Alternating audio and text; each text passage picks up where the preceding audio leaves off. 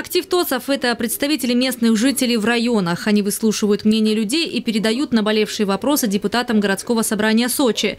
Те, в свою очередь, рассматривают обращения на заседаниях профильных комитетов и территориальных депутатских группах. Мы э, смотрим, мы заслушаем ежед... практически ежемесячные встречи у нас э, с ТОСами на местах, где мы координируем эту программу. Первое. Выполнение э, э, городской инвестиционной программы. То есть это строительство газопроводов, э, водопроводов, которые у нас идут, э, строительство школ, детских садов. Э, оно находится под общественным контролем. Для выполнения актуальных наказов избирателей каждому депутату ежегодно выделяется из бюджета 3 миллиона рублей. А количество наказов из года в год стабильно большое, порядка 500. Это, например, ремонт дорог, благоустройство территорий и просьбы социального характера. С начала этого года депутатами городского собрания Сочи уже выполнено более 80% наказов избирателей.